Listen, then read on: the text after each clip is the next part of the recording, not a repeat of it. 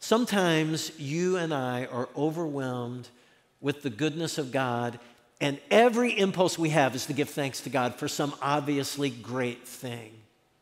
But sometimes life is hard and raw and heartbreaking, and we move toward gratitude for one reason only because we know God expects it, because God commands it.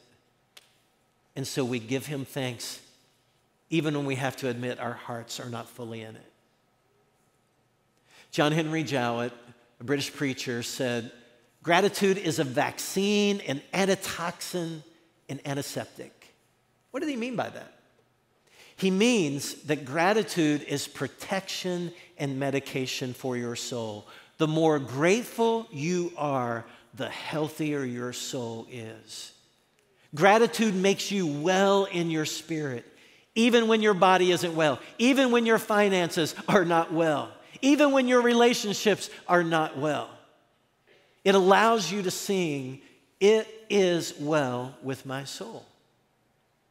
David wrote, God, you turned my wailing into dancing. You removed my sackcloth, that's mourning clothes, and you clothed me with joy that my heart may sing to you and not be silent. O Lord my God, I will give you thanks forever.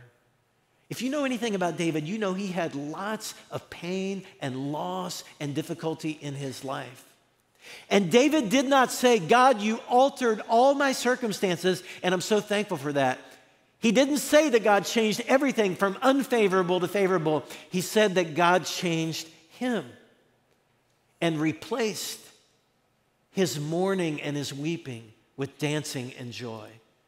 God gave him joy even in his sorrow, and he thanked God for it. I have a little assignment for you that is probably going to feel awkward if it is not a practice of yours.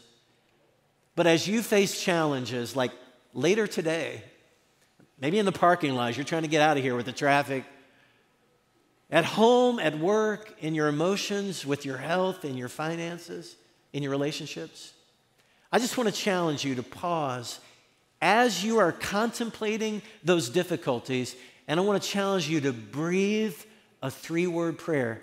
Maybe you just have to think it because you're in the presence of other people and you don't want to weird them out. But just pray, Thank you, Lord. Even when you're having trouble seeing the thing for which you should be thankful, even when you don't know how God is going to work it out, just proactively thank Him. Thank you, Lord. Why?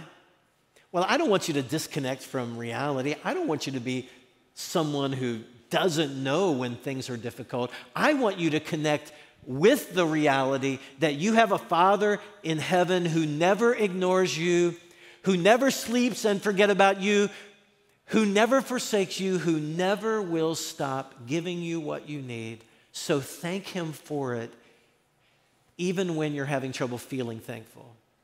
When things look grim, look for something for which to be thankful. And if you can't find it, thank God that He continues loving you and caring for you and being patient with you while you learn how to give thanks in all circumstances. Paul wrote to the Philippians from prison. And if I had been writing that letter from a prison cell, being treated unjustly, I would have been tempted to begin my letter by saying, You won't believe what I am having to deal with. But Paul began his letter to the Philippians from prison and wrote, Every time I think of you, I give thanks to my God.